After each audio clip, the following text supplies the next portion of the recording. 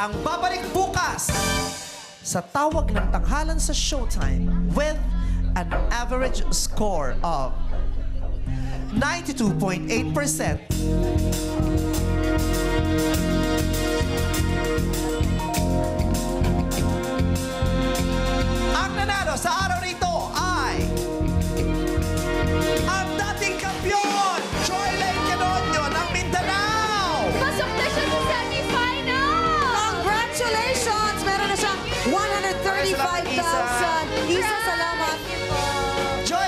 congratulations! Thank you po. Ah, we're so happy for you. And I'm sure lahat ng mga guro sa buong Pilipinas ay proud na proud sa'yo. Opo. Thank you po sa lahat ng mga sumuporta po. Sa mga tagaglan, salamat kay sa inyo ha. Kamusta? Inasahan mo bang mapapap... Aabot ka sa ganitong level na makakapasok ka sa semifinals, marami kang matatalo, hindi kang mapapababa? Actually, hindi po kasi yung mga nakakalaban ko po ng mga ilang araw, magagaling din po. So, binigay ko na lang po talaga yung best ko para umabot ng semifinals. Pero ka bang pinag-aalayan itong tagumpay mo na ito? Yung family ko po.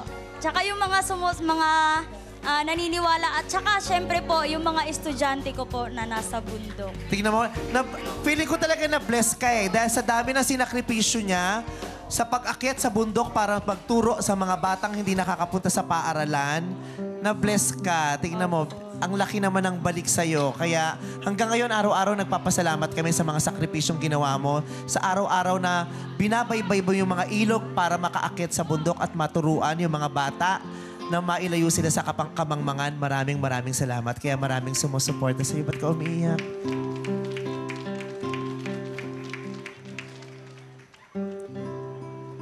Ka umiiyak? May nakain kang confetti? Ano? Ano? Ano yun? Anong nasa isip mo ngayon? Sobrang saya lang po. Na-imagine mo ba itong mangyayari sa'yo? Alam mo yung magandang nangyayari sa'yo ngayon? For sure, isa sa mga batang naturuan mo sa bundok, may magandang mangyayari din sa kanila at isa ka sa mga nagpalakas ng loob nila at nagturo sa kanilang mangarap. You inspired so many people. Salamat sa'yo. Kasi marami na kaming nakikilalang teacher eh. Pero iba yung teacher na nakilala namin ngayon, yung umaakyat ng bundok para magturo ng mga bata.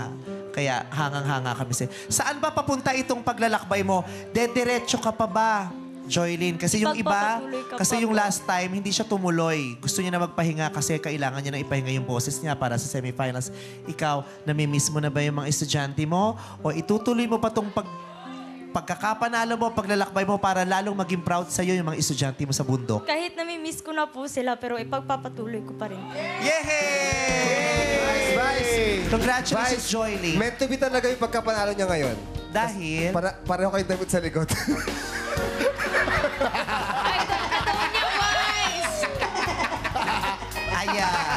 ginalingan nyo din talaga. Direk, lagi ako may kaparehong damit sa likod. Direk, eh! Solid Damit sa likod na narinig